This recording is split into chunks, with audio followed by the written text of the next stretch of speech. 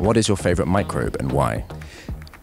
Oh, I have so many. Salmonella typhi. I can't give you one answer, but of course E. coli to start with. Archaeoglobus fulgidus because it's a thermophile and it can also grow on carbon monoxide, which I think is very cool. It would, of course, have to be Salmonella uh, because it's the coolest uh, microbe on planet Earth, bar none. Sporomusa ovata. Saccharomyces cerevisiae, which is a microbe that is at the basis of our civilization and uh, makes many things that make us happy.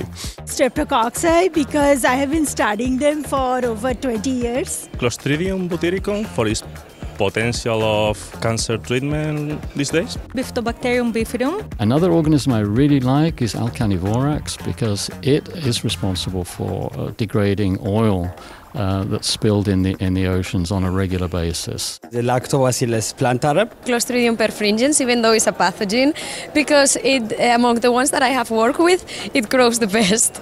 So it didn't give me any trouble so far. So I, I really like Haloferax volcanii. It's a halophilic archaeon. It's colorful, it's red, it makes nice pigments, um, and it doesn't get contaminated because it grows in high salt. Has to be a fungus that's called Verticillium dahliae. It regularly rearranges its genome. To my view, that's really just very intriguing. Lactobacillus reuteri. It's really beneficial actually. It can produce different kind of flavor compounds and also other end products benefit us. So I really like it. Amycolatopsis mediterranei. Pseudomonas aeruginosa. I find it will trick me at every turn, way smarter than myself. So I really appreciate the challenge. Desulfoluna spongiiphila.